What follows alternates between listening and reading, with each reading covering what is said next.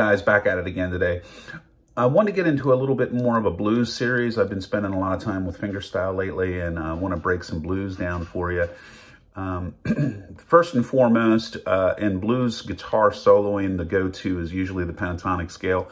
And uh, you're going to get a lot of use out of that for sure. But um, that little bit you just saw me play uh, was kind of outside of pentatonic thinking and I'll walk you through uh, what I'm thinking when I was playing that. And what this will do is help get you a little bit more variety in your sound. So if I was in an A blues, of course, the first thing people are going to go to is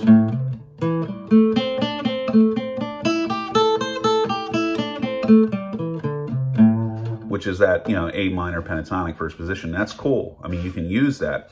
But um, what I did in this bit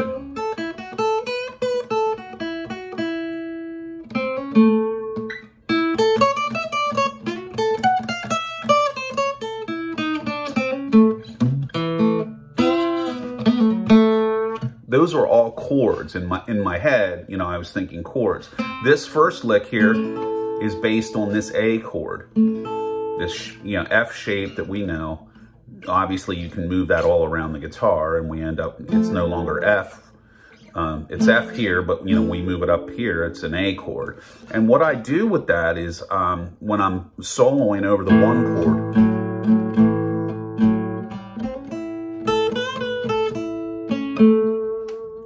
Little, uh, there's like a little chord shape I can play there. Chromatic approach. So you think of that, think of that chord as a scale. This note, that note, that note, and that note. You know, you know obviously you're not going to be playing it like a chord. You're going to be using those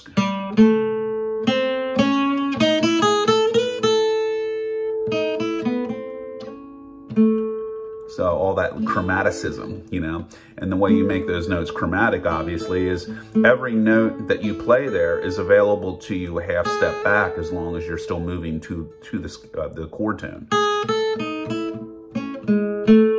That's the thinking of it. Watch that again. Here's, here's our chord tone. Here, here's our chord and our chord tones. Right? Now, chromatically, the note before each one of those is available to us moving towards that. So now let's take a pentatonic lick.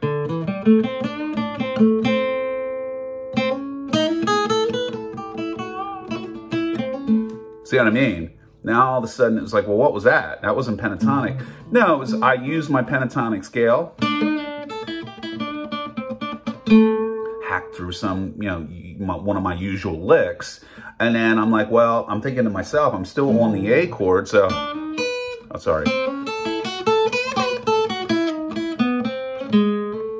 You know, and then I have that available to me in all kind of various forms, chromatically moving into it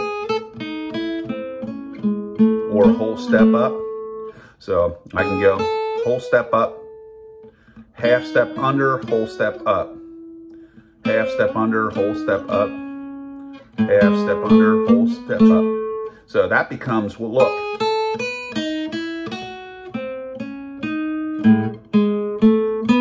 there's your whole scale. And it's based off of this chord. So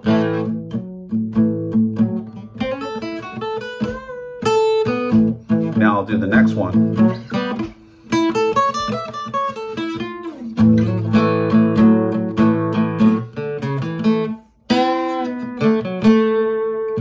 And that's how you're going to get a lot of mileage out of your chord licks. So when you're playing this A shuffle, think to yourself, my pentatonic lick,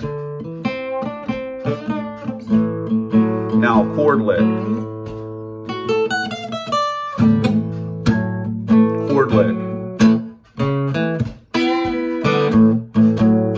Pentatonic. Chord lick. Then I go to the D. Now,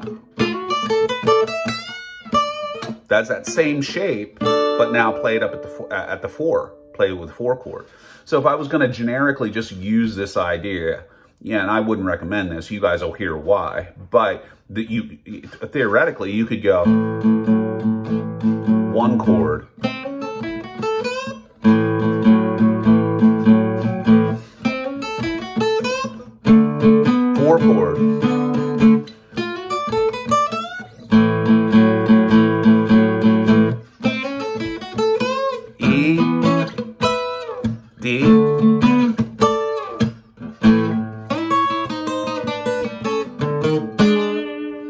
that turnaround in our last video, remember? So we have three chord forms here. The first one, and uh, you can get a lot of juice out of that.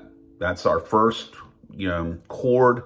I call chord scale in my head. You know, it's just like my, that, that's the base of my chord scale. That lick, that provides a lot of stuff for me. This one, there's the next one, and we'll get into this one in other videos. And then here's the other one. And they're all A chords, guys. A gives me this.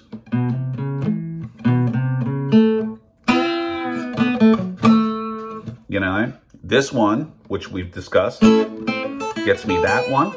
And this one, I this is the Dickey Betts one. I call it that because I remember it like...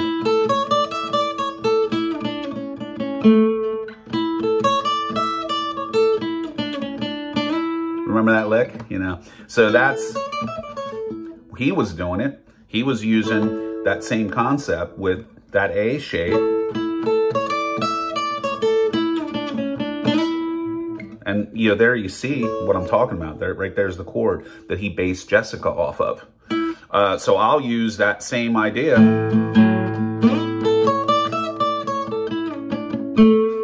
And just mix it up a little bit. And, uh, you know, everybody rips everybody off. That's what Keith Richards said. But um, anyway, guys, hope this is helpful. Blues you can use. Uh, we're going to do some more videos on uh, these different chord shapes and how you can get some variety in your pentatonic playing with our chord scales. Check it out, www.theguitar-shop.com. Email the Guitar Shop Studios at gmail.com. Keep picking.